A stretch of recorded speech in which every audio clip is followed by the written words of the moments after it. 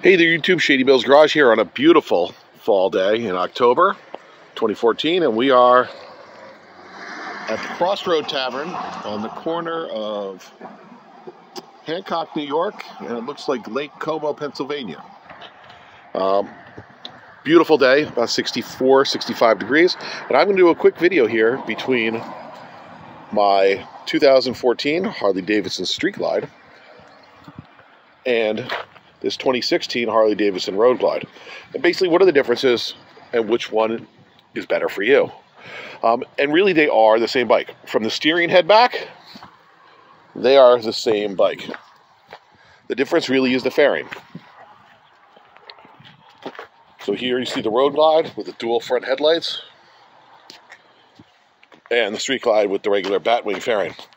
So which one's better for you? Which one do you like? Well, obviously, it's going to come down to personal taste. What do you think looks better?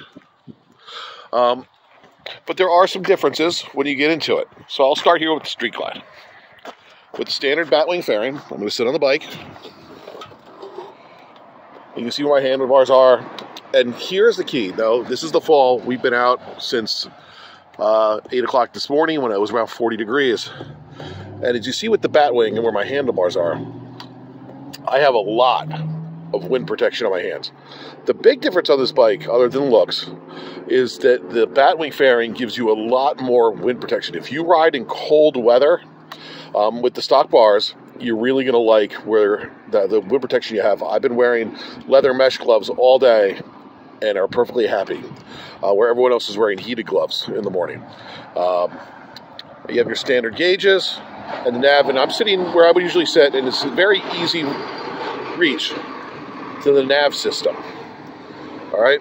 Now, if I go sit on the street glide, oh, and also it's kind of a pain in the ass to change your handlebars on a street glide because you got to take the fairing off and all that because it's all through there.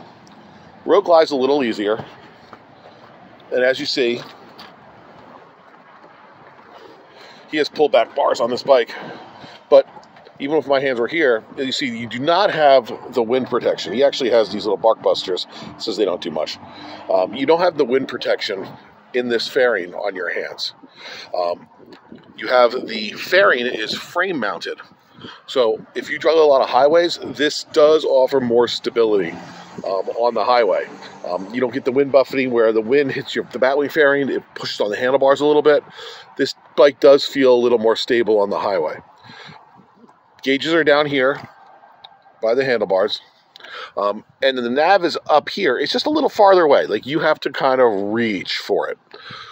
You can obviously change the windshield wherever you want, and it has the same thing this has with the little flap, so you can direct your uh, wind. Um, but except for that, it is really the same bike. It's all what you like. Um, so, you know, they say that there's this the bat the uh, road light, road uh, glide fairing adds a little weight, but it all depends on what you like. Um, I'm going to tell you the one thing that you never read is that this does give you far more wind protection in cold weather.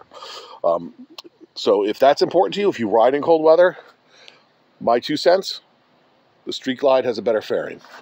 If you don't ride in cold weather, you do a lot of highways, probably the Road Glide might fit you better.